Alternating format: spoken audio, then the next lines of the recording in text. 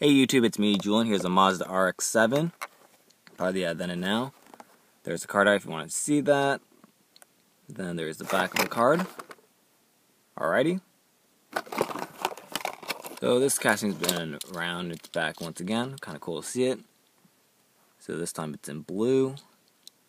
Oh, totally out of focus here. Sorry about that. There we go. So it has like the, uh, I guess a metal flake blue paint job. Pretty cool, pretty simple. Nothing too crazy going on with it. No rear tampos or any other detailing tampos, just some stripes. There's the uh, plastic base if you want to see that. And of course the uh, body is metal. Yep, pretty cool. There you have it. Thanks for watching. Please check out my other videos and keep collecting.